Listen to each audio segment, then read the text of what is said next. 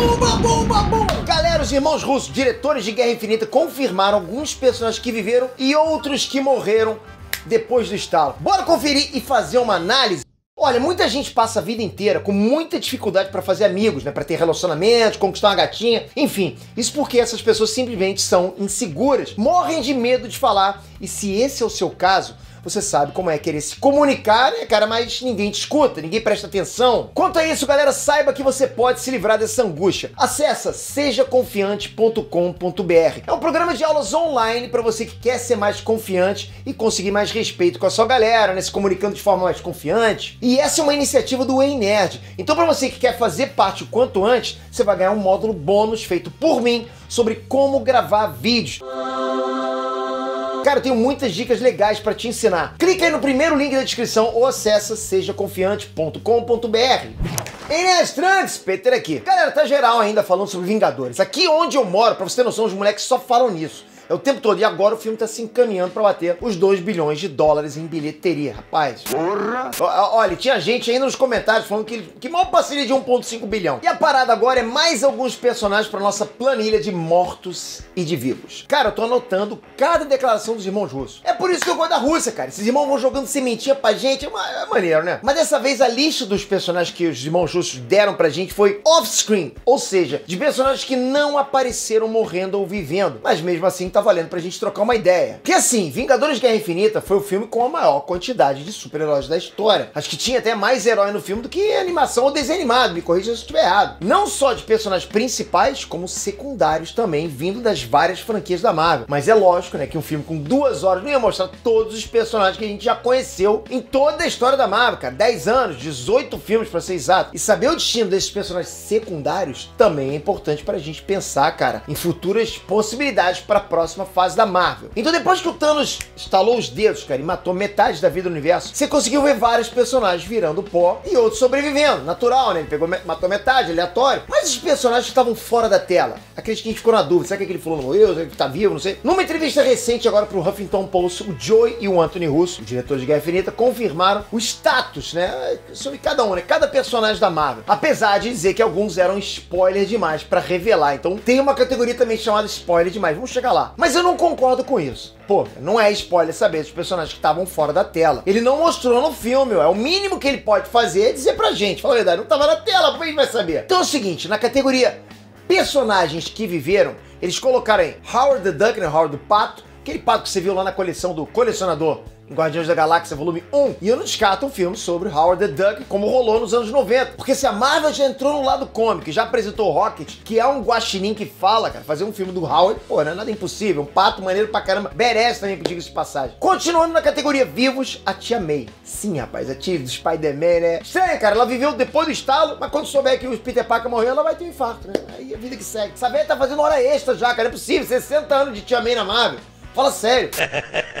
Continuando, a Nakia, a namoradinha do T'Challa. Os irmãos russos não quiseram falar ok? Mas disseram que o status dela é profundamente secreto. Foram as palavras que ele usaram. Então eles não disseram se ela tá viva ou morta, mas falaram que o status dela é profundamente secreto. Aí, lógico que eu presumo que ela tá viva. Sim, galera, eu sei que vocês agora estão aí pensando, mas pô, eu tô cagando pra esses personagens. Bem, cara, eu também. Mas ele disse isso, cara. O que, que eu posso fazer? Meu trabalho é passar essas informações. E por esse profundamente secreto que ele disse, né, que o Joe e o Anthony Russo mandaram lá, eu também presumo que o Wakanda vai ter uma incidência muito forte em Vingadores 4. O Wakanda precisa compartilhar tecnologia com o resto do mundo e até vibrando. É, você precisa compartilhar vibrando também se quer ajudar a te fazer o que o Thanos fez. Não é hora de ficar segurando uma relíquia dessa. Fora que, sabendo disso, já dá para pensar que o Pantera Negra vai continuar com o par romântico dele, porque a Nakia tá viva, tá vivaça. Lógico, dá pra presumir isso. Porque eu ainda acho, galera, presta atenção, que nem todo mundo vai voltar à vida. E eu tenho certeza que o Pantera vai. Então, pelo menos a namorada do Pantera, cara, já tá garantida pra continuação. Porra, Tchala, tu se deu bem, né? Pô, vai precisar pegar um barco, né? Sério que um barco tem subaco.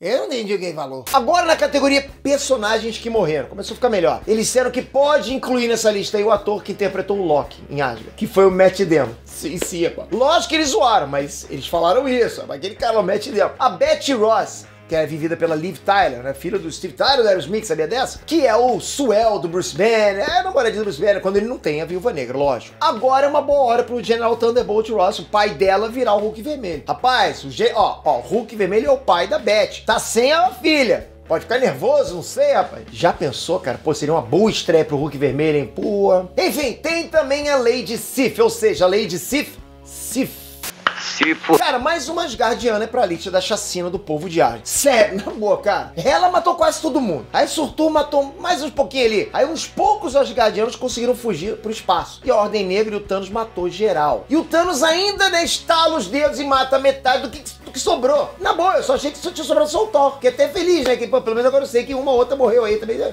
De qualquer jeito, agora sim sobrou só o Thor. Agora a categoria mais interessante, que é a spoiler demais, né? Eles não quiseram falar nada. Aí você fala, pô, por que, que a categoria. É, por que, que você colocou essa como mais importante? Porque assim, se eles falaram spoiler demais, cara, a gente pode presumir algumas coisas. Vamos chegar lá. Então, assim, da mesma forma da Nakia, a gente pode presumir, né, cara, tirar algumas conclusões. Começando com o Miek. A dedução é lógica, galera. O diretor da Marvel Studios, Kevin Feige, ele disse que tem grandes planos para os fãs dos personagens preferidos do Thor Ragnarok, Korg e Miek. Pra quem não sabe, tem até fã essa galera. A gente sabe, que metade dos guardianos da nave escapou do Thanos. Então, tudo leva a crer que, né, o Homem de Pedra e o cara de pulga lá vão aparecer nos próximos filmes. É, negócio de spoiler demais, dá pra perceber que não era para falar que eles estão vivos, né? Ainda na turma do Thor, a Jane Foster entrou na categoria spoiler demais. Cara, eles disseram isso, né? A Natalie Portman já não faz parte do universo cinematográfico da Marvel desde Thor: Mundo Sombrio em 2013. Mas ela já disse que estaria aberta a retornar pra Marvel, então é bem possível que né, um namoro entre o Thor e a Jane aconteça em breve. Os caras são, né,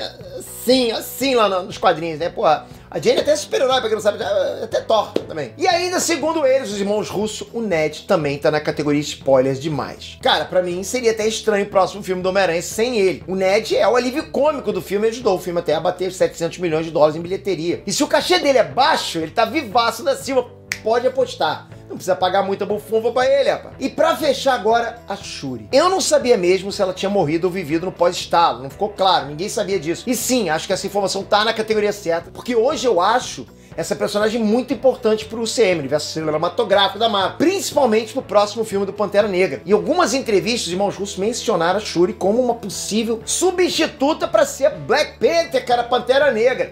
Então, assim, não tem sentido eles fazerem mistério sobre se ela viveu ou morreu, porque é bem fácil presumir que ela tá viva. Pô, fala sério, irmão russo? Eu tenho irmão russo, mas nós somos irmão BR. A gente manja mais. Valeu, galera. Não esquece o like. Eu tô contando agora. Clica no joinha pra você, muito fácil e me ajuda demais. Tô esperando você lá no Instagram. O link tá aí na descrição ou no primeiro comentário. Clica aí, me segue no Instagram e já manda sua pergunta pra mim lá, ok? Não esquece, arroba lá no meu Instagram. Abraço, fui!